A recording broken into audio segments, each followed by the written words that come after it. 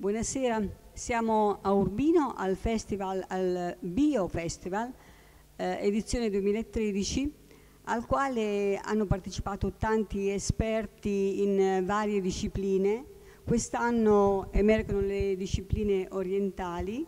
Abbiamo qui eh, la nostra Daniela Conti, eh, che è dirigente nazionale WISP, la quale ha partecipato al seminario tenuto dal dottor mm, Raimondo, eh, seminario che eh, era intitolato all'argomento empatia applicata alle discipline orientali.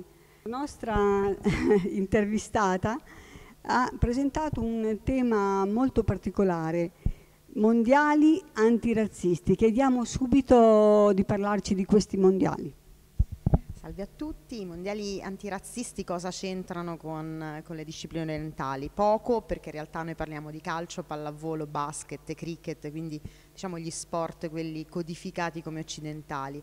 C'entrano molto invece con l'empatia e col discorso relativo alle relazioni fra persone perché ogni anno da 17 anni a questa parte in Emilia Romagna si incontrano circa 6.000 persone provenienti da ogni parte d'Europa in rappresentanza di 70 nazionalità.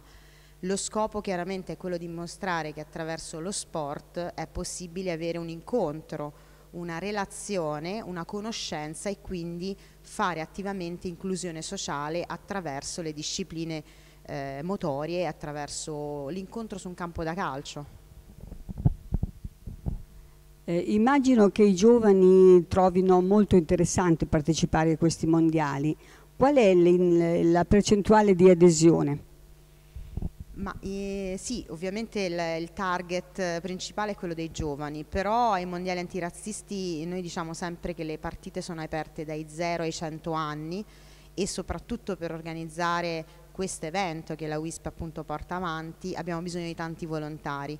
Fra i volontari ci sono invece tantissime persone anziane che trovano in questo momento un modo proprio per confrontarsi con qualcosa di diverso, che sono sia un confronto intergenerazionale, quindi con i giovani, ma anche diverse culture, eh, diversi modi di approcciare allo sport e alla vita.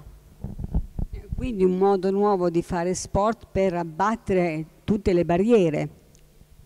Assolutamente sì, per noi lo sport non è un bisogno secondario delle persone, non viene dopo aver soddisfatto gli altri bisogni, ma è un modo proprio per creare momenti di socializzazione, di incontro.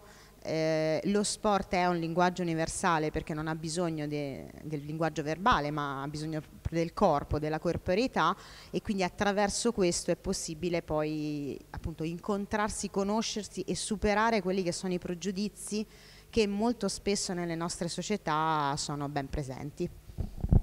Bellissimo quello che ha detto, la ringraziamo molto.